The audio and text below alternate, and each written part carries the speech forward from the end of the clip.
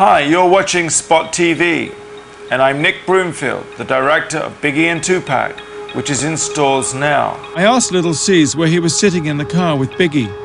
Yeah, I was right behind him. He was in the passenger. He was in the passenger seat, and I was right behind him in the back seat. I was right there. Yeah. And what did you see? I just seen. I just seen the car just roll up and just start shooting in it. One dude in the car by himself.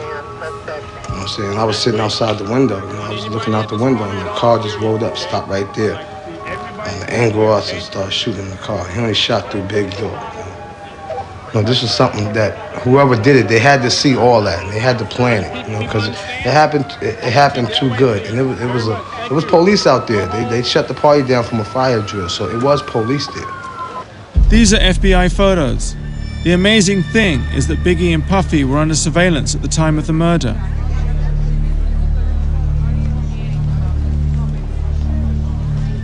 So, did you see the FBI? Yeah, I saw them, and, and, and after after Biggie, after the Biggie death, you know, I had spoke to a couple of police, and I saw a couple of pictures that they had when they was watching us. They were showing me pictures of me, asking me who I'm, who is that? I'm telling them that's me.